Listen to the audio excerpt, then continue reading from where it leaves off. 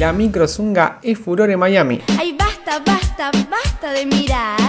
Mi hilo dental. Una nueva tendencia se está observando en las playas de los Estados Unidos y tiene que ver con la moda de la utilización de zungas diminutas, con el llamado comúnmente hilo dental para hombres, que ya lucen esta prenda de baño en las costas de Miami y en diferentes partes del mundo. Lo cierto es que en Argentina no es tan habitual ver a personas con este atuendo playero y fue por eso que el periodista y conductor Hernán Lirio, que se encuentra en Miami, compartió el video de un hombre caminando por la arena con la microzunga que se volvió a viral. La gran pregunta es si esta moda que marca tendencia en Estados Unidos llegará finalmente a las playas argentinas en este verano 2021. ¡Ay, basta, basta, basta de mirar!